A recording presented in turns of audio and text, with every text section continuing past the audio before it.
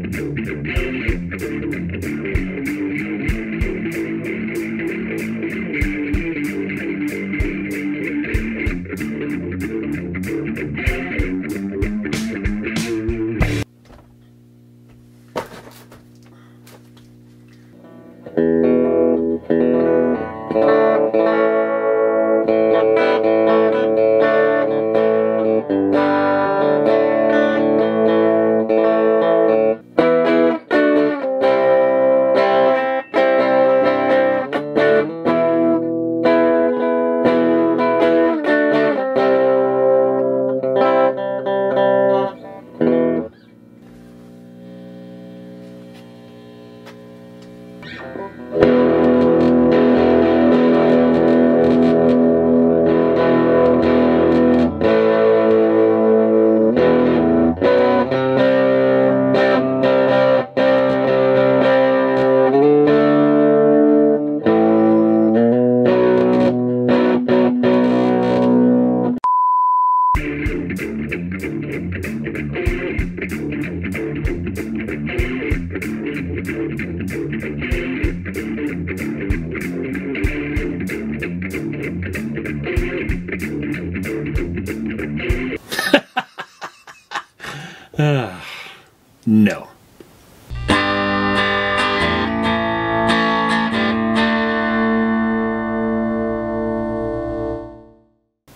Friends, welcome back to the workshop.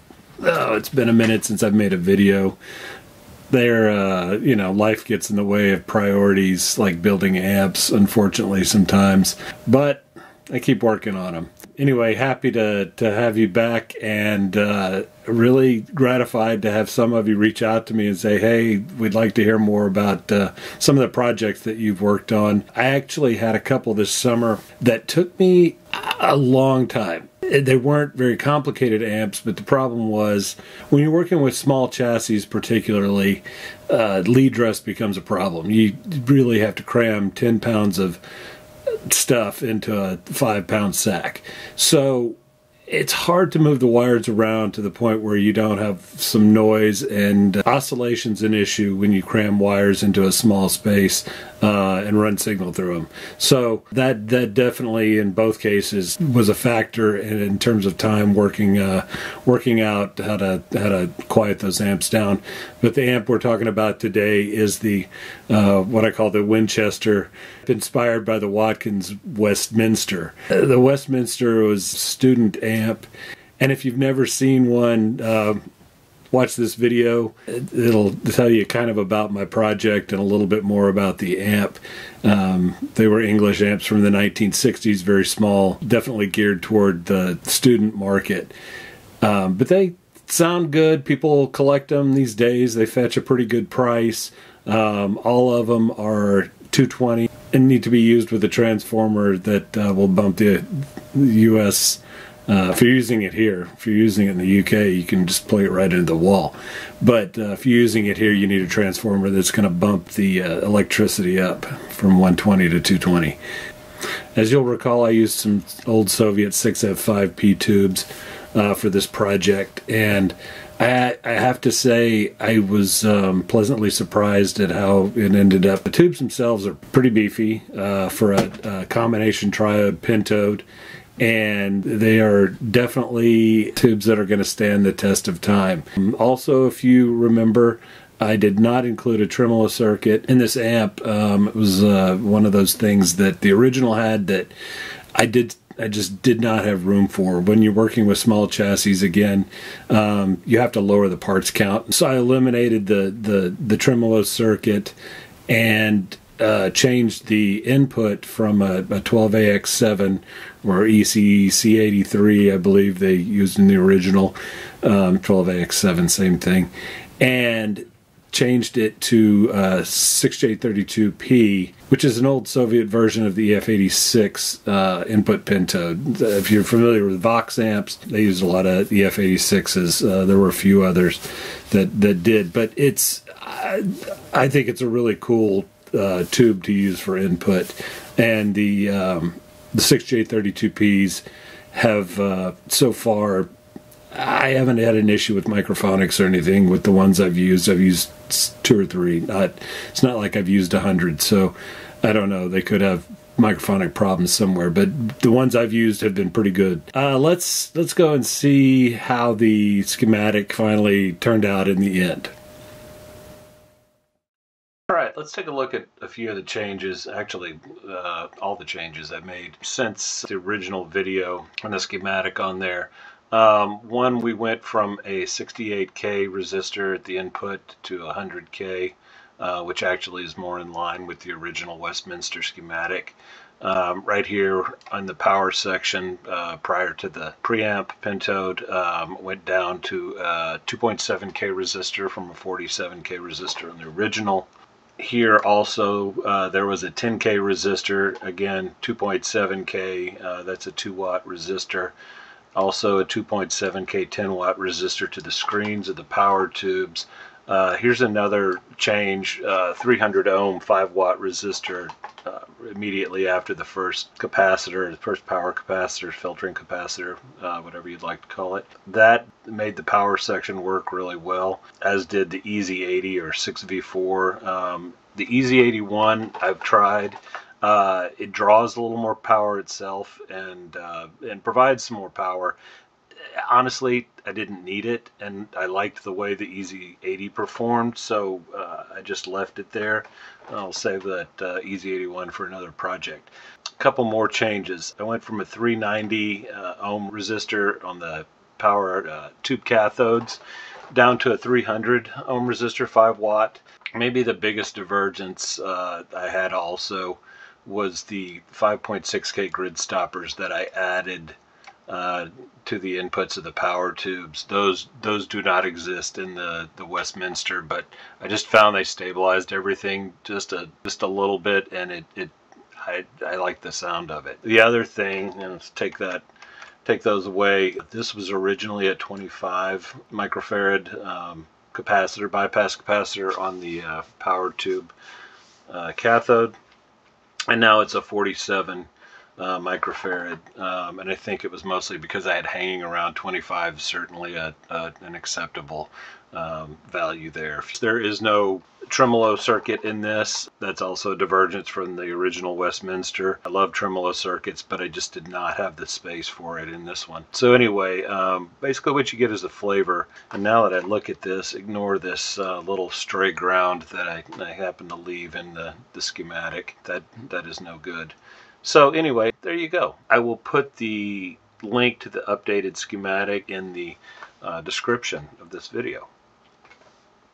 Let's go to the part of the video that everybody's been waiting for. Some bad guitar playing, and I mean very bad guitar playing. But uh, it'll give you an idea of how the amp sounds. So let's go hear it.